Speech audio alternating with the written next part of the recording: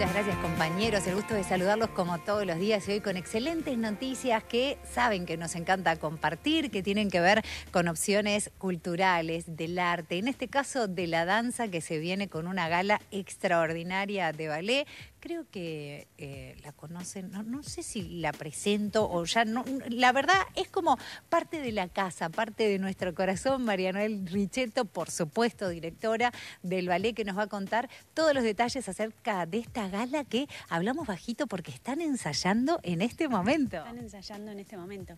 Sí, se está poniendo así, son como los últimos toquecitos antes del estreno, que bueno, que ya es este, la semana que viene, el jueves que viene. Em, son dos estrenos para la compañía, uno un estreno mundial eh, de la mano de, Marina Sánchez, una coreógrafa uruguaya que, es de la casa este, y que no podía faltar en esta primera programación. Em, con un ballet que se llama Senchopina, que es inspirado este, en la música de Chopin, em, que tiene toda una puesta en escena de la mano de Gustavo Petkov en, la escenografía brutal que está hecha acá en, los, talleres del auditorio, con vestuario de Tavo García también. Eh, y bueno, y es una propuesta como bastante eh, clásica, en puntas y, y un poco lo que el público está acostumbrado acostumbrado a ver.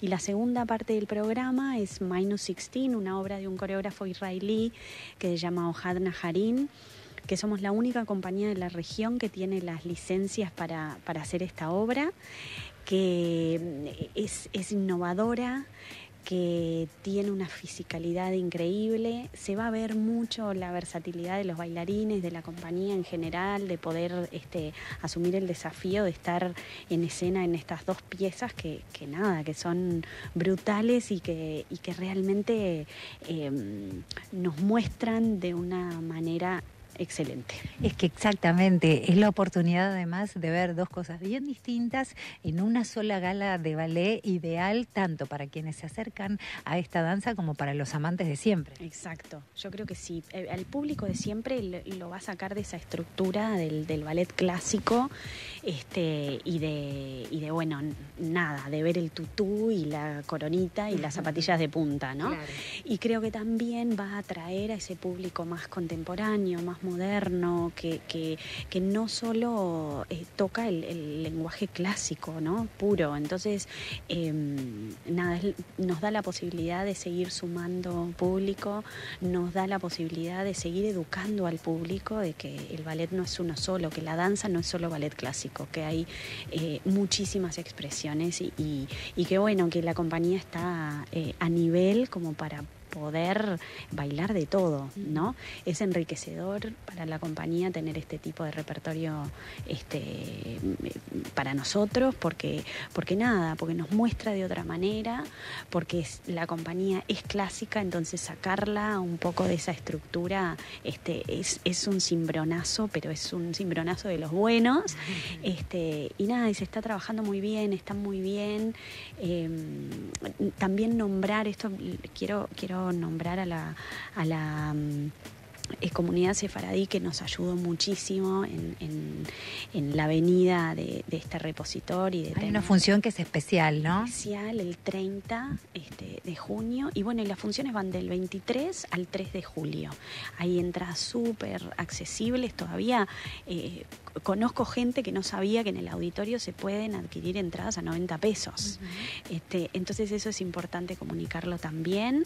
Eh, el uruguayo deja todo para último momento, entonces todavía quedan entradas, pero bueno, queremos eh, llenar la sala. Em, se está trabajando mucho, mucho para que eso suceda. Y, bueno, y un gran agradecimiento a ese público que, ya nos, nos sigue, que nos es, nos es fiel este, y, y también queremos darle la bienvenida a ese público nuevo. Y que de verdad aquellos que no vinieron, que se animen, porque es como tú decías, a veces uno sigue relacionándolo a ley con algo que ya no es o que tiene esa esencia, pero que hay mucho para ver, hay mucho para descubrir y el Ballet Nacional del Sodre tiene una, una magnitud y una creatividad y también un talento sobre el escenario que es otro orgullo celeste que tenemos que valorar y apoyar viniendo a la sala. Exacto, exacto. Es una compañía de casi 60 bailarines en esta propuesta eh, eh, prácticamente toda la compañía baila cada noche. Este, y bueno, y es eso, es la posibilidad de, ver otra cosa, de enriquecerse de otra cosa, eh, de sacarnos como esa salir de esa casilla ¿no? Del, ballet clásico y tener la posibilidad de, tener este tipo de galas una o dos veces al año está buenísimo. Nos encanta eso y además tenerte a vos en otra faceta, porque por supuesto que estamos todos con la expectativa puesta en lo que son las audiciones para Got Talent que ya empezaron. ¿Cómo se viene eso? Exacto. Y bueno, yo contenta de volver porque, porque para mí es, es, todo un desafío. Eh, la verdad que fueron unas, unas este, grabaciones divinas, eh, hemos visto muchas cosas buenas, creo que es lo divino que tiene el, formato es que eh, hay para todos los gustos, este, hay todas las disciplinas, entonces em, va a estar bastante variado, va a estar muy variado. Y va a ¿Te sorprendieron cosas o algo que, que, te llamara la atención? Sí, sí, la verdad que sí, porque uno piensa también, bueno, es un país chico, somos pocos, pero sin embargo siguen apareciendo cosas interesantes, la gente se va a sorprender, hay muchas historias también de vida muy, muy lindas que son para ser compartidas, mucha gente del interior, que, que esa es una de las cosas que a mí más me gustan también, ¿no? Que venga gente de todo el país, que, que este es un formato que, abraza a, todo el país. Entonces, eso es buenísimo.